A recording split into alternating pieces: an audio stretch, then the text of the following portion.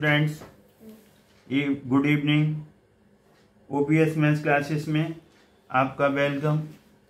Question number seven important question है। Exercise six point three class ten chapter six triangles का हम ये करने जा रहे हैं। फिगर बनी हुई है। In figure six point three eight figure number है सिक्स पॉइंट थ्री एट तो इसमें क्या है? A D and C of triangle A B C intersect each other at point P.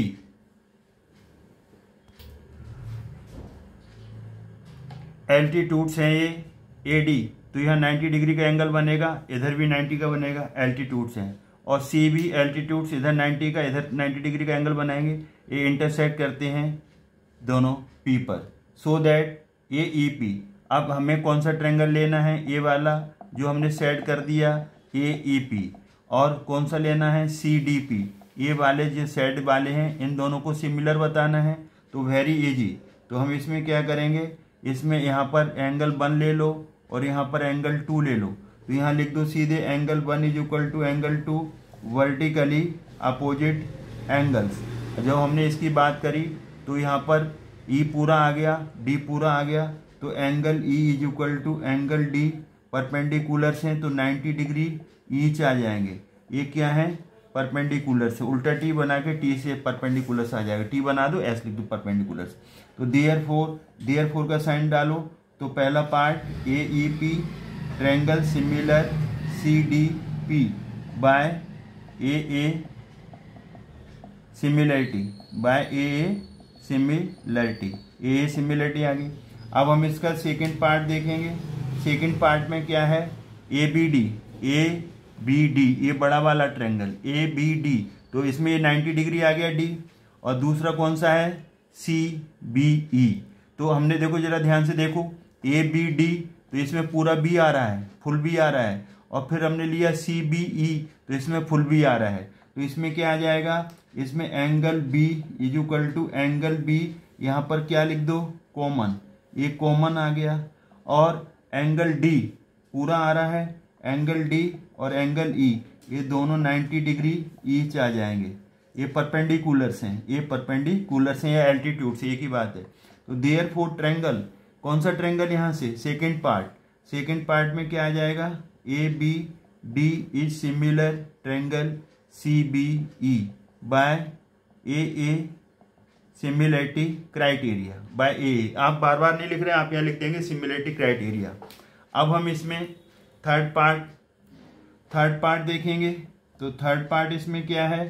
Third part में ए E P A E P वही वाला triangle आ गया ए E P छोटा वाला ए ई पी ये वाला आ गया। और दूसरा A D B A D B बड़ा वाला। ए डी बी तो जरा ध्यान से देखो। ए E P A E P और दूसरा क्या नाम दिया है? ए डी बी तो इसमें ए ए कॉमन आ रहा है, इतना पार्ट कॉमन आ रहा है। तो हम इसको एंगल थ्री नाम दे दें, क्योंकि वन और टू दे चुके हैं। तो एंगल यहाँ लिख दो, ये लिख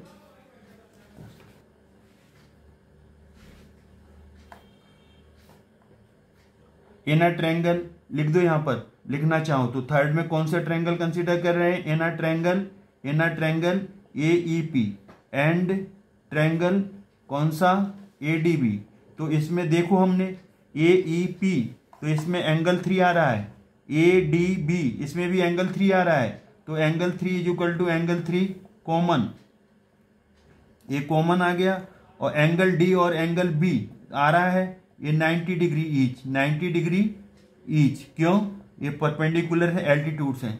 तो therefore triangle therefore triangle कौन से triangle A E P similar triangle CBE. Triangle AEP will be similar to triangle CBE by A A similarity criteria. तो ये हो गया। अब हम मूव कर रहे हैं यहाँ पर फोर्थ पार्ट की तरफ़। अब हम देखेंगे इसका फोर्थ पार्ट तो फोर्थ पार्ट में क्या है? फोर्थ पार्ट में हम कंसिडर कर रहे हैं ट्रैंगल इन अ ट्रैंगल कौन सा ट्रैंगल ले रहे हैं? PDC PDC and triangle BEC अब देखिए पीडीसी पी डी सी ये वाला वो आ गया, छोटा वाला, पहले लिया था ना पी डी सी और B E C B E C B E C तो इसमें सी कॉमन आ रहा है, पूरा सी नहीं है, इतना पार्ट सी कौन सा? डी सी पी तो हम इसको फोर दे देंगे। क्या दे देंगे यहाँ पर? फोर ध्यान से देखेंगे आप। ध्यान से देखो यहाँ पर P D C P D C में ये फोर आ गया, और दूसरा बीई सी बीई सी में भी फोर आ गया। तो यहाँ लिख दो angle four is equal to angle four ये कॉमन है। और क्या है? डी डी आया ना पी डी सी डी आ गया बीई सी ई आ गया। तो एंगल डी और एंगल ई एंगल डी और एंगल ई यहाँ पर ये गलत हो गया है, यहाँ पर एंगल डी और एंगल ई e आएगा। एंगल बी नहीं angle E e, angle E e आएगा यहाँ पर। डी और ई 90 डिग्री डी और ई 90 डिग्री डी और ई पर है। तो जहाँ पर भी 90 है वहाँ डी ई आएगा। डी और ई तो और दूसरा यहाँ पर कौन सा? अभी बोला था हमने पी डी सी तो एंगल डी है और दूसरा B E C angle E 90 degree each ये 90 डिग्री ईच आएँगे। क्योंकि एल्टीट्यूड से या परपेंडिकुलर से therefore triangle fourth part कौन सा? P D C triangle P D C similar होगा बी ई सी के by A A similarity criteria तो आपके हमने बारी बारी से चारों पार्ट्स प्रूव कर दिए और इसलिए चार पार्ट्स हैं, एक दूसरे से रिलेटेड है। इसलिए क्वेश्चन बन जाता है इम्पोर्टेंट तो आई होप ये आपको समझ में आया होगा। अगर आपको ये समझ में आया है तो हमारे वीडियो को लाइक करें शेयर करें सब्सक्राइब करना ना भूलें। अब हम नेक्स्ट वीडियो में क्वेश्चन नंबर एट्थ हो गया। नाइन्थ टेंथ और आगे सिक्सटीन तक करेंगे। Thanks God